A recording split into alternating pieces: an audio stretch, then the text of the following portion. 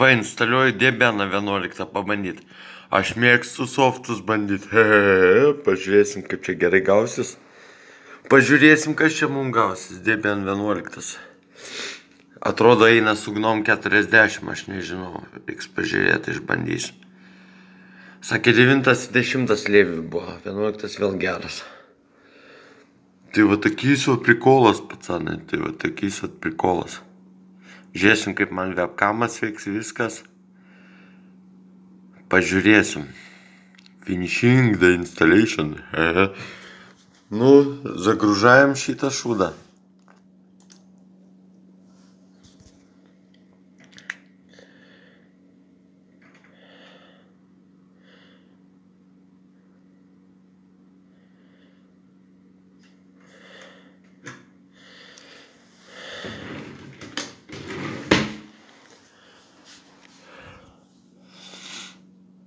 Окей, окей, viskas окей, блядь, давай говно потрубам.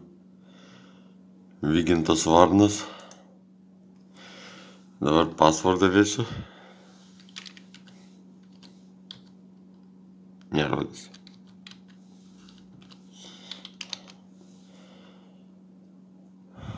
O, blėt, netiko pasvardas. Kurva, blėt.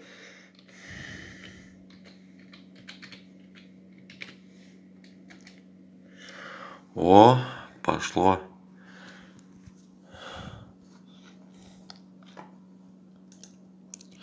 Dar nėra Gnom 40. Pažiūrim, kaip čia mano webkamera veiks.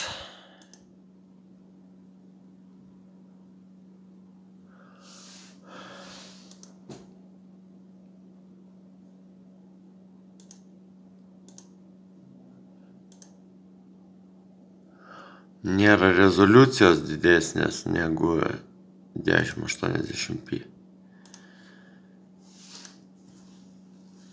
Jau jau čia vygiukas, vygi mauziukas, pizdukas galubiukas. Nu ir pažiūrim, ką čia mums gausis. Hahaha, blėt. Eik.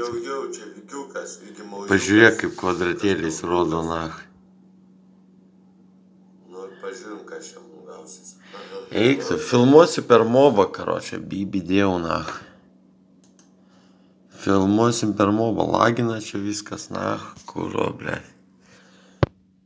Eik, tu savo, ble. Kaip tu, kuro nedadaro nieko iki galo, ble.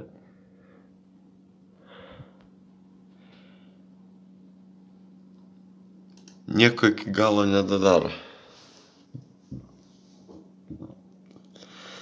Tai va, karočią, čia jau.